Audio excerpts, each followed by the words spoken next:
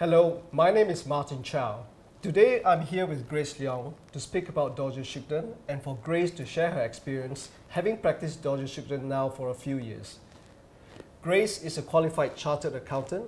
She is also the principal and art director of Grace Salon. Grace is, a, is married and is a mother of two young adult children. So Grace, welcome. Hi, Martin.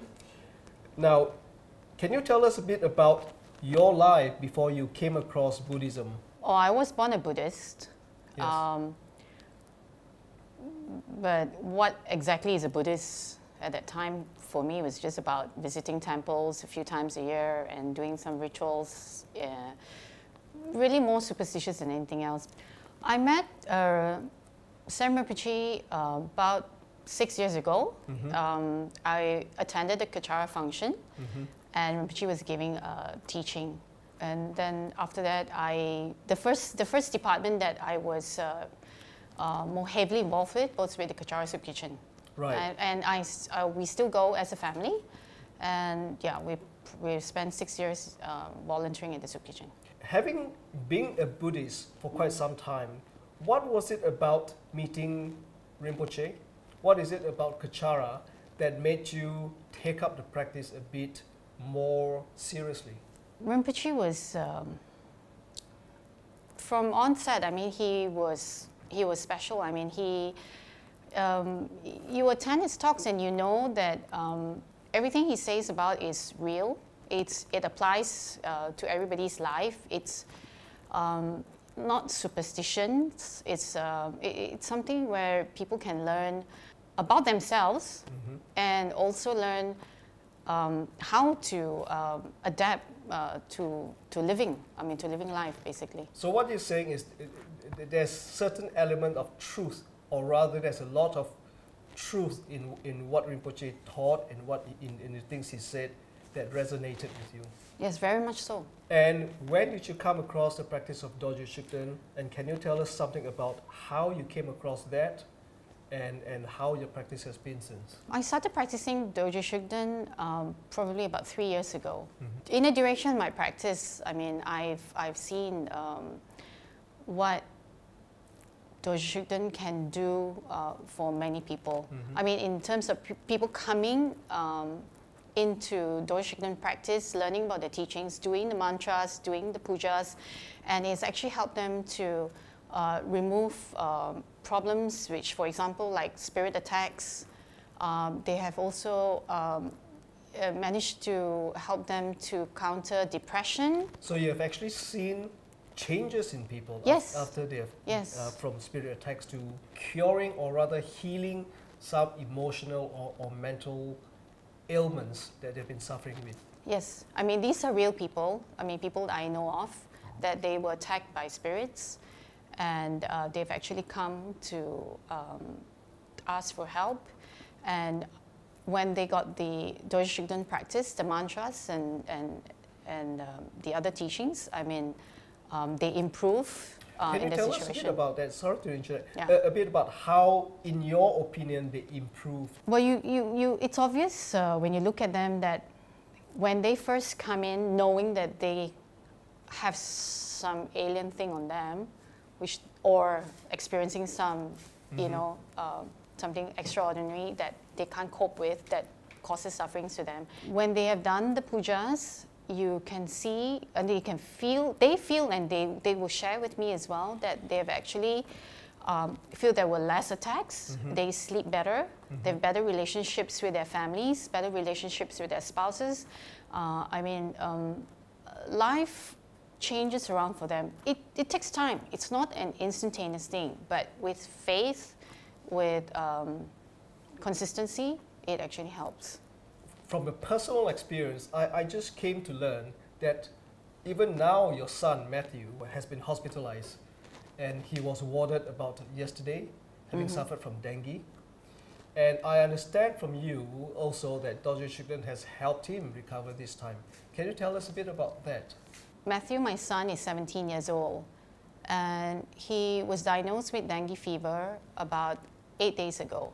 Well, we stayed at home uh, trying to nurse him and for about five days, and every day his platelets starting dropping 50 to 60,000 points every day. Um, I mean, it's very, very worrying as a parent. Uh, dengue is something which is uh, uh, very rampant now in Malaysia. I mean, the statistics that are shown actually that um, dengue is uh, it, it, it's more fatal than it was ever before. When you are a parent, we, you have to understand this that if there was anything, you'd rather be the dengue patient. Yes. And um, how then am I going to be a parent if the dengue patient was my son, whom I loved so much? So it, I, I had to stay calm, and, and Matthew had to stay calm as well. I mean, the rest of the family as well. And we resorted to doing uh, pujas, we resorted to doing mantras. At a certain level, uh, it's compulsory to be warded in the hospital. Yes. And uh, when Matthew was uh, warded in the hospital, uh, he started bleeding from his nose. See, he- hemorrhaging dengue is fatal. Mm-hmm. So any form of hemorrhaging in any part of the body is not positive at all. He Quite was profuse. bleeding for very profusely for four hours Mm-hmm. in so-called a nosebleed. Nobody bleeds for four straight hours. I mean, profusely. Mm-hmm. The ENT had to come and stuff something up his nose to stop his bleeding, Mm-hmm. but it was still continuing. Uh, though, though it slowed down, Mm-hmm. uh, there were we had to. I mean, uh, Rinpoche was very very kind. He uh, actually prescribed pujas. He did a so Dorje Shugden puja. Right. Yeah. I understand it's a special Yes. puja for And- removal of uh, such obstacles. Mm. And what happened after that? Um, the, the bleeding stabilized. It was still bleeding, but it slowed down tremendously. Um, that Matthew started to rest a bit more. Uh, he relaxed a bit more. But I continued to do the kanshak next to his bedside. The kanshak being the prayer to clear obstacles Yes. and problems. Yes. Correct. Yeah, and um, y- you know you just have to hold on to the fact that you know we have to wait for the results to come out to see that um, that, that things uh, improve or not, or what are the next steps to go about. How is Matthew right now? Oh, Matthew is uh, much different now. Today, he got up and asked for a very heavy breakfast. He has not eaten for many days uh, a substantial meal. That, to me, as a mother, is a great sign. Uh, in terms of his blood test results, uh, the platelets had turned around. So basically, now it's on uptrend. It's not um, going down anymore. And um, um, his So- bleeding has uh, Yes. stopped tremendously. There is very, very slight bleeding. Um, but the doctors want to keep him in the hospital for another day or so for observation. And if he's fine, then he will be discharged tomorrow. Would you say this is just coincidence, or do you believe that the Dorje Shugden Puja made a big difference? To me, definitely, in terms of the timing of the pujas, the timing of the blessings from the guru, you can actually see that it, it was not just coincidence. Not it was by definitely chance. not by chance. Because there's a marked difference Yes. before and after. Yes, but I also want to say, right, even if people don't believe in such things, what I've gone through the last eight days, I had tremendous support from so many people, whether they were friends, uh, relatives, they were Dharma brothers and sisters. And, and the, many of these people that gave me support, whether in terms of well wishes, in terms of dedications, in terms of pujas, sponsoring pujas, uh, gifts, anything, many of them were Dorje Shugden practitioners. To me, whether or not you want to believe, uh, you know, the powers of Dorje Shugden, I relate to the powers of love, care, and kindness, generosity that was given to me in the last one week. Kindness being a very common characteristic with people who practice Dorje Shugden is what you're saying. Yes, But here's the thing, Grace. There are so many deities, so many Buddhas, so many protectors in the Tibetan Buddhist pantheon. Shug- Shugden is one that you know has been engulfed in some controversy.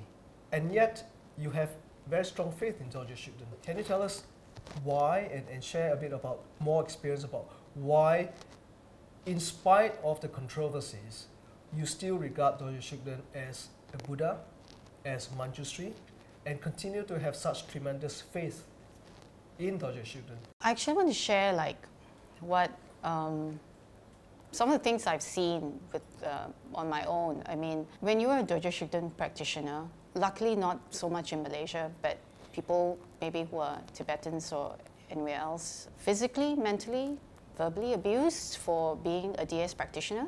They go through broken marriages that, you know, uh, among the families, they, among the spouses, they are one is for the Shugden, one is against, and, and they decide because of a practice and a belief, they don't count on the love mm-hmm. and support that they have for each other. Broken families, broken marriages, uh, people who have gone through uh, physical abuses, right? They were basically, uh, they, they lost a lot of their properties. They also go through uh, verbal abuses. Um, you know, they were mentally uh, tortured in, in that sense. And yet, having suffered so much, and yet having sacrificed so much, they keep to their practice. They stay very steadfast in their faith. Um, to me, all that is, is uh, living Dharma. Right. So, the, the, from your observation, that despite being, well, quite a bit of oppression, quite yes. a bit of discrimination, that these people behave as if they have the Dharma, and, and these people are the practitioners of Dorje Shugden.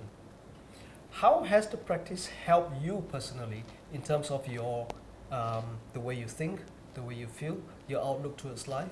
Actually, I'm very inspired by all that's happening, um, whether it's locally or stories I, I watch uh, or I see or watch uh, abroad or anything like that.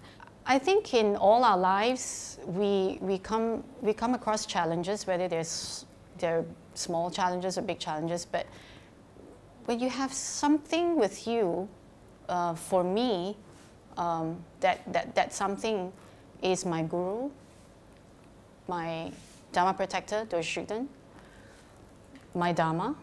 I mean, having these three things in my life, it's a great asset if you want to look at it in the materialistic, but it's more than just asset, it's something that helps me to move on, uh, to improve myself, and um, for me to, it, it may be a bit of a striving to move forward, to change certain things which I don't like about myself, but um, after all this, I, I actually like very much the new me that I've discovered. In summary, you, you don't quite believe all the things said about Dorje Shugden, all the negative things said about Dorje Shugden. I can't believe because the people that I, uh, the Dorje Shugden practice, uh, practitioners that I have as friends or associates or teachers or whatsoever, um, they don't show me anything negative. Well, at least nothing more than I would get in the secular world. I mean, whatever I get from them, it's been consistently lots of kindness and care. In other words, you cannot deny your very personal and real experience with the practice of Dorje Shugden. Yes, it's real. Thank you, Grace. Thanks, Martin.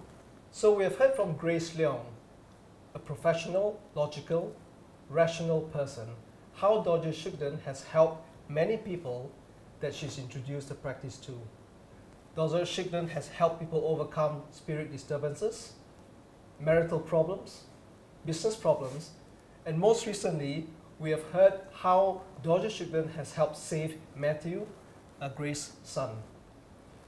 But this is not surprising because Dorje Shugden is by nature a Buddha who will help anyone, whoever he can, whether you practice him or you don't practice him. Thank you very much.